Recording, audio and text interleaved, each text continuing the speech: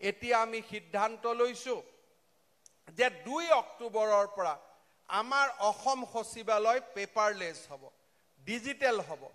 Digital মানে কি? আমি বাহিৰত পাছ লওঁ। এতিয়া আমি বাহিৰত পাছ নলওঁ বাহিৰত চাৰিটা কম্পিউটাৰ থাকিব। ৰাইজৰ যি কাম থাকিব কম্পিউটাৰত তাৰ পৰাই টাইপ কৰিব। আমালৈকে সেই কাম আহিব। আমাৰ আমাৰ সন্মুখত ধৰা দিব।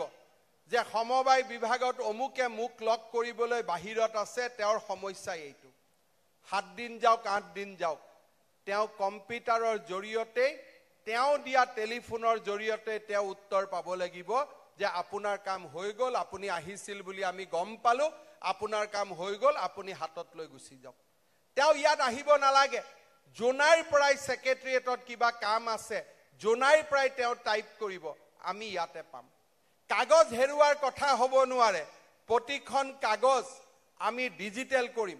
ছেক্ৰেটেৰিয়েট আহিলে আপোনাৰ কাগজখন হেৰালে। মই বিচাৰিব লাগিব। অমুক ছাৰৰ টেবুললৈ যাব লাগিব। সেই কথা নাই। কম্পিউটাৰত ক্লিক মাৰিলে আমি গম পাম এই আবেদনখন ক'ত আছে।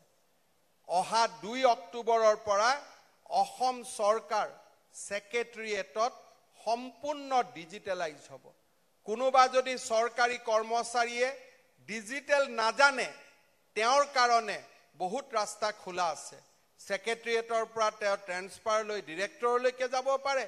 আৰু তেওঁ যদি বহুত দিন চাকৰি কৰিলে যে নহয় মই কিছুদিন এতিয়া ঘৰলৈকে যাম ঘৰলৈও যাব পাৰে। কিন্তু যেতিয়ালৈকে ছেক্ৰেটেৰিয়েটত থাকিব আমি ডিজিটেল মাধ্যমেৰে কাম কৰা শিকিব লাগিব।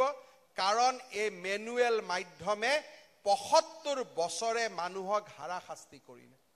এই মাধ্যমৰ পৰা আমি ওলাব লাগিব।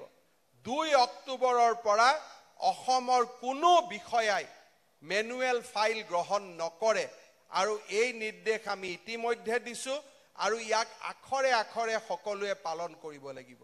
অৰ্থাৎ ফাইল আহিব আমি স্কেন কৰিম ফাইল কম্পিউটাৰৰ ভিতৰত সোমাব কাৰ হাতত কিমান দিন ফাইল আছে ক'ত কেনেকৈ নিষ্পত্তি নোহোৱাকৈ আছে আমি সকলোৱে গম পাম।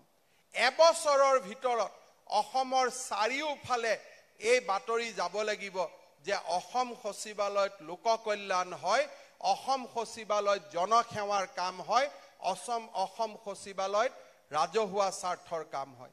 আৰু মই বিশ্বাস কৰোঁ আমাৰ সচিবালয় যি ধৰণে যোৱা দহ বছৰত দুৰ্নীতিৰ পৰা আঁতৰি গৈ নতুন নতুন চৰকাৰী কৰ্মচাৰীসকল নিযুক্তি হৈছে বহুজন